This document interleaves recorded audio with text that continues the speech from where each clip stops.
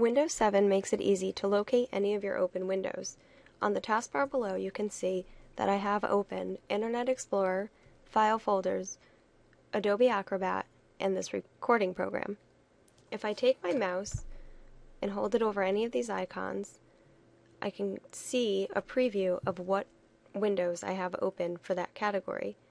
Right now, I have, if I hold my mouse over any of these previews, you can see I have Facebook open, Windows 7, and Twitter.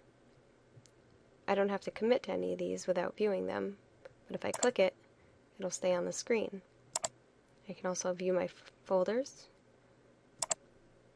or I can view my Acrobat file. Since I have a lot of windows open on my desktop, instead of minimizing each of them individually, I can take my mouse and click this corner over here to clean off the desktop.